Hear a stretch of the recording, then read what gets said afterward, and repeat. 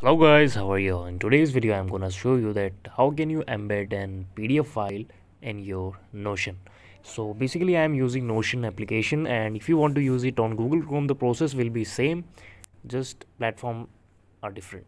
So first of all i open my notion and you can see the options here. This is my main notion page meeting notes document so i will generally go to documents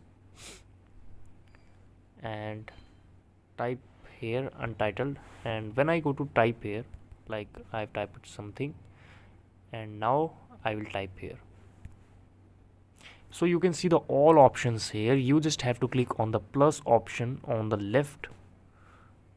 And just scroll down. Here you can see embeds and click on the first option called embed. Yes so now here you have to give the link of your pdf file to embed it. So basically this is the process. Thank you so much for watching the video. Please subscribe the channel if you liked